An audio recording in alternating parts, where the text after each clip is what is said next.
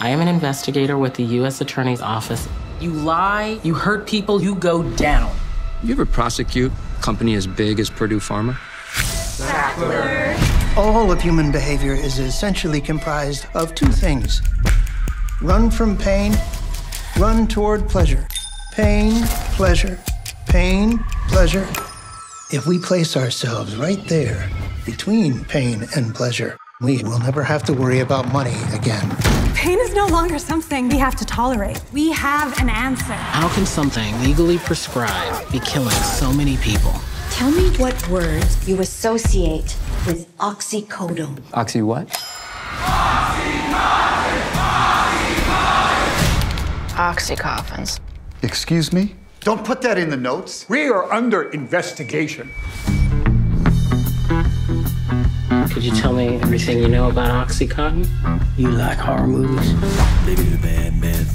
You will be convincing doctors to take pain seriously. Oxycontin is the one to start with and the one to stay with. The more you prescribe, the more you'll help. It is now the number one opioid in the country. This drug is permeating every part of our community. You're the cutest little Oxycontin kitten we've seen in a minute. If it's working, which it is, we can increase the dose. Let's kick you up to 40 milligrams. It doesn't just kill people, it destroys the families and friends. You're a drug dealer with a ponytail. You bought that car with the death of a 16 year old girl.